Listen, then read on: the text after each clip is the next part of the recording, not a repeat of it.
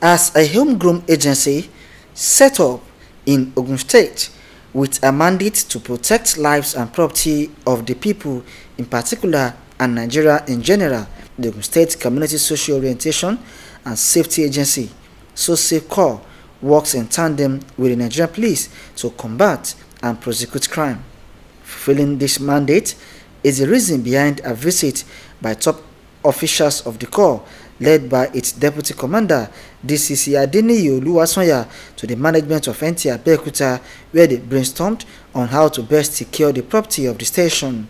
Speaking after a facility tour of NTA Abeokuta, Ogbe Administrative Office and the Okeguya Transmission Site, spokesman of the Corps, Moruf Yusuf expressed the readiness of the agency to strengthen the security arrangements of the station. Uh, the relationship between uh, So Safe Corps and the NTA, uh, which uh, is, is, just giving birth to now, It's going to be a continuum. Uh, we believe NTA is us. We are going to uh, demonstrate, you know, every sense of professionalism to make sure that uh, what is giving us, you know, a kind of a problem within uh, the management team of NTA uh, will go into an extinction. Applauding the collaboration, General Manager NTA Abeokuta Fumi Wakama promised that the relationship would yield mutual benefit for both organizations.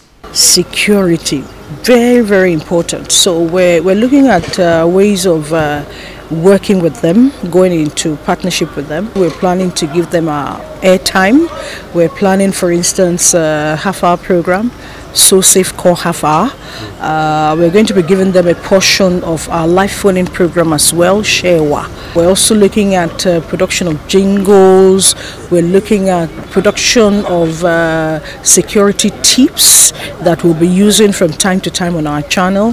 So these are what we've been discussing, and uh, it's been a very fruitful discussion. I'm very optimistic that um, the partnership will work and it will be of uh, mutual benefit to the two organizations. She also assured that NTA Abeokuta will not rest on its tours in furnishing members of the public with necessary information crucial to their security.